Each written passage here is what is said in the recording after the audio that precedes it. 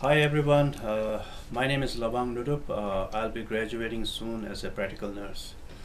Becoming a practical nurse means a lot to me and to my family because I consider this as one of the important accomplishments in my life. This accomplishment gives me a purpose in life of being able to help sick people and make a difference in the lives of the people and community. I do envision myself as a competent and a caring nurse competent not only in my medical, clinical, and cultural aspects, but most importantly in comforting and caring the person as a whole. And in fact, the past more than 12 months of my nursing education at this college has helped me equip with all the necessary elements needed for becoming a competent nurse.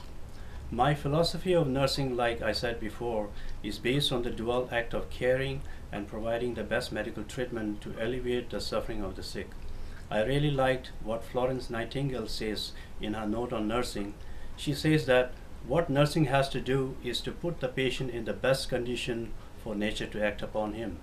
In other words, she wants to see nurses employing an holistic approach that would entail not only giving medication but providing overall basic care such as attending to the patient's physical, mental, emotional, spiritual as well as cultural needs, thereby help enhance patient's recovery.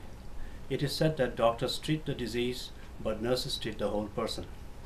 In conclusion, I see nursing as a very noble profession and I will make sure that I live up to my philosophy wherever I work.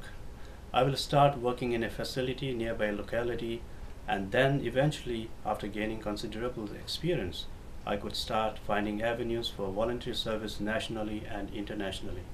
Who knows in the near future I might also come up with a new book titled What Nursing Really Means. That's all. Thank you for your attention.